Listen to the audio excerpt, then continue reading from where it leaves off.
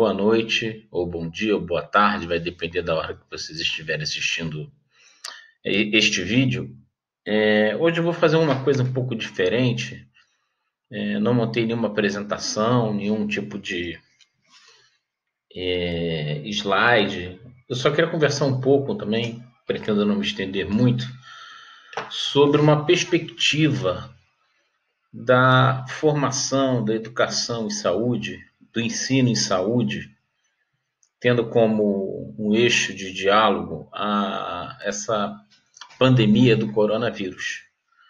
É, hoje, agora, no final do dia, é, já foram é, registrados mais de 2.200 pessoas com coronavírus e mais de 40 mortes no Brasil.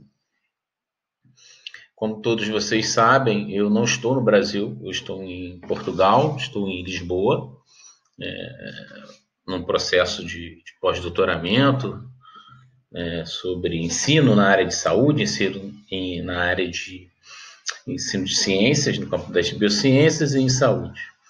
É, e aqui é, foi feito um monitoramento a partir do que vinha acontecendo na Itália e também na, na, na Espanha, né, as autoridades portuguesas elas começaram a ampliar paulatinamente as medidas para conter o avanço de transmissão da doença.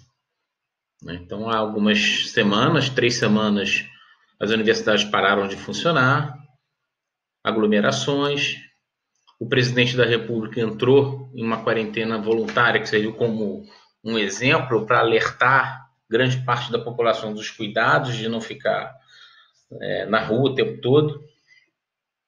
E semana por semana, nessas últimas três semanas, o sarrafo foi subindo.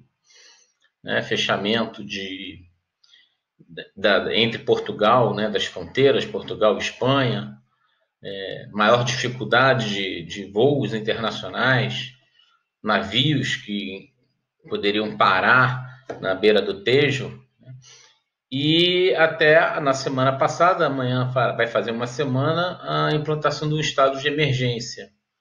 E um confinamento, um confinamento não obrigatório, mas a própria população se atentou para esse fato. É, isto num país em que você tem condições de habitação melhores, nós estamos falando de Portugal, que não é nem um país rico na Europa, mas as condições de habitação, os determinantes socioambientais que estão fortemente vinculados à saúde, é ou são muito diferentes do que a gente encontra no Brasil. Então, quando nós falamos ah, o, sobre o processo saúde e doença, a gente tem que ampliar a ideia de que não é só a biologia, não é só a perspectiva de tratamento né, quando uma pessoa doente e de prevenção em cima dessa questão do confinamento. Vamos ficar todos em casa, por exemplo. Se você pega uma favela como o Jacarezinho, ou Higienópolis, em São Paulo, ou a Rocinha, você tem 40 mil pessoas por quilômetro quadrado em condições socios, socioambientais muito ruins. Metade da população brasileira não tem saneamento básico.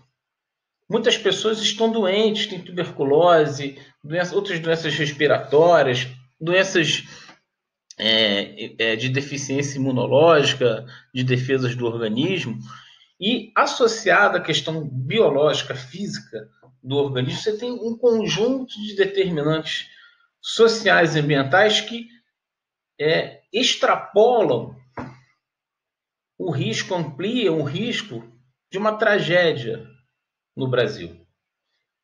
Então, a perspectiva da saúde, da promoção da saúde e da prevenção das doenças, ela tem que ter uma abordagem mais ampla do que os aspectos estritamente biológicos.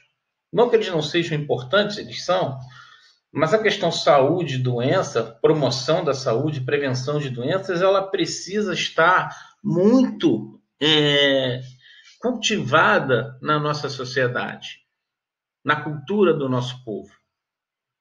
É evidente que investimento em saúde, todos esses investimentos agora são fundamentais, atenção básica, atenção primária, estratégia de saúde da família, a fundamental importância dos agentes comunitários de saúde na perspectiva de mapeamento dos casos.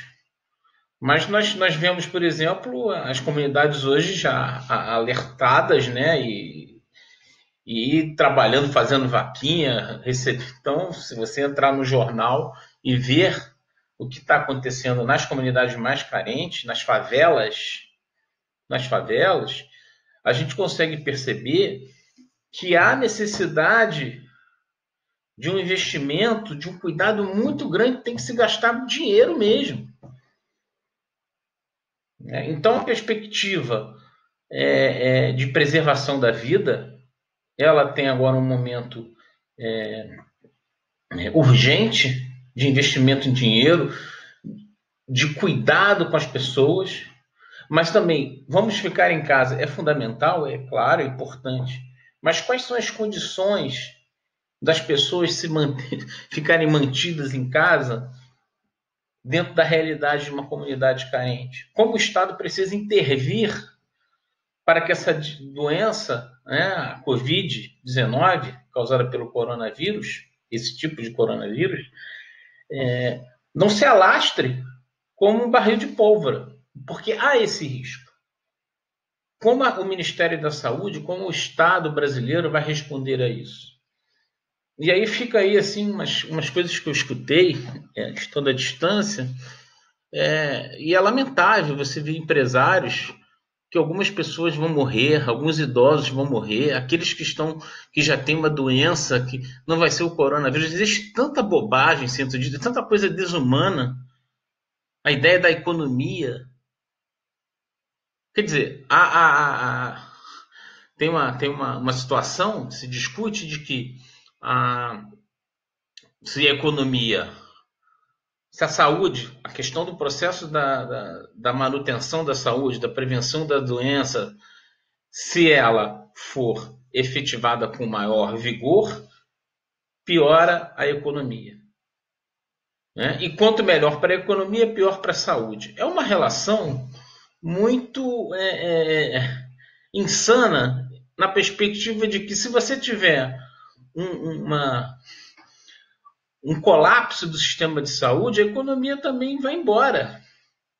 Então, em primeiro lugar, é a vida das pessoas. É a vida das pessoas. O Estado brasileiro tem dinheiro. Tem dinheiro para alocar. Tem como fazer um processo é, de combate à, à, à, disseminação da doença, ao contágio da doença, muito bom, com muito dinheiro. O Brasil tem um SUS que mesmo com os seus problemas, o seu investimento deveria ser até maior, mas que é capaz de dar respostas. E evidentemente que após passar esse, esse tsunami, né, na questão de saúde, na questão da, da economia, é, é necessário repensar repensar a questão do papel do Estado, do financiamento um Estado que possa dar respostas efetivas para as questões de saúde das pessoas.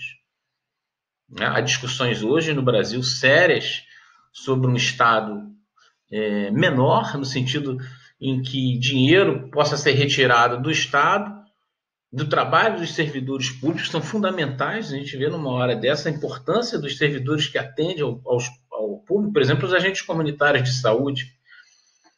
Como os agentes comunitários de saúde, que têm esse papel de elo entre a comunidade e os serviços de saúde, como a estratégia de saúde da família foi, foi é, prejudicada nesses anos. Por exemplo, na cidade do Rio de Janeiro, a gente tem relatos disso. É só a gente buscar. Então, tentando fazer agora uma, uma, um levantamento geral do que foi dito, tentar é, fazer um, um resumão, é necessário, primeira coisa, a gente pensar na questão saúde, doença, como algo sendo muito mais amplo do que os aspectos biológicos que causam a doença e do tratamento via é, a perspectiva unicamente da medicina médica. né? Tradicionalmente, como a gente considera a população, as pessoas geralmente têm isso como senso comum. Não que não seja importante, claro que é. Claro que é. Mas a promoção da saúde, a prevenção de doenças, ela abraça um processo muito mais amplo em relação às condições sociais, às condições ambientais, o rendimento das famílias. Como é que a gente pode, por exemplo, propor é, é, que as pessoas fiquem em casa, confinadas, numa, numa, numa, em regiões em que não há saneamento básico, em que não tem água. A cidade do Rio de Janeiro teve um problema de crise de água há pouco tempo. Agora imagine se esse pico da doença fosse é, na convergência de tempo do problema que houve com o abastecimento de água no Rio de Janeiro. Que maluquice seria isto? Esse é um exemplo assim, agora me vê a cabeça, para a gente pensar, para a gente refletir em relação a isso. Então, atenção primária, atenção básica em saúde, a estratégia de saúde da família, a função das equipes de estratégia de saúde da família, a importância do agente comunitário de saúde, a importância de fazer uma vigilância né, é, da doença nas comunidades carentes, nas favelas, é fundamental nesse momento. E aí, a gente tem que ter em mente que confinamento é importante, né? é claro que é importante, evitar o contato, ratifico isto, mas pensar como a gente pode pensar na questão do confinamento nessas comunidades. É fácil a gente falar em confinamento para um indivíduo de classe média, quem tem um apartamento de dois, três quartos, que tem dois filhos, em comparação ao que acontece na comunidade. Então, essa é a primeira questão.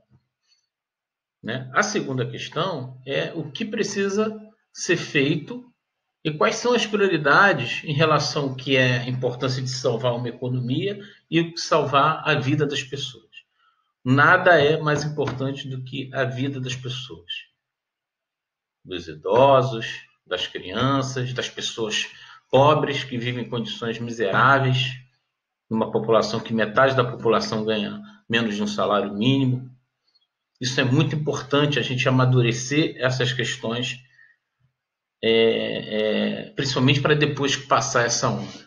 O primeiro momento é cuidar das pessoas de forma séria, mas essas reflexões são fundamentais. É, posteriormente, a gente pode amadurecer um pouco mais essas conversas, essas ideias. Eu vou disponibilizar esse vídeo nos nossos canais e seria importante que vocês façam as suas críticas, façam as suas sugestões para que nós possamos aprofundar essas discussões. Tá? Eu estou aqui muito atento ao que está acontecendo no Brasil, muito preocupado e espero que o Brasil consiga realmente se organizar, os estados com o governo federal, é, e que o nosso país, querido Brasil, possa é, enfrentar esta doença que de uma maneira eficiente e que maior, o maior número de pessoas possam ter suas vidas poupadas. Como eu mencionei aqui em Portugal, parece que o que eles fizeram é, surtiu efeito. Mas algumas condições que foram feitas aqui são muito mais fáceis de serem executadas num país em que as condições, os determinantes sociais e ambientais favorecem a determinadas recomendações. Um abraço e vamos continuar nesses debates em breve, no futuro, nos próximos vídeos. Tá? Saúde, um abraço. Em breve eu estou voltando.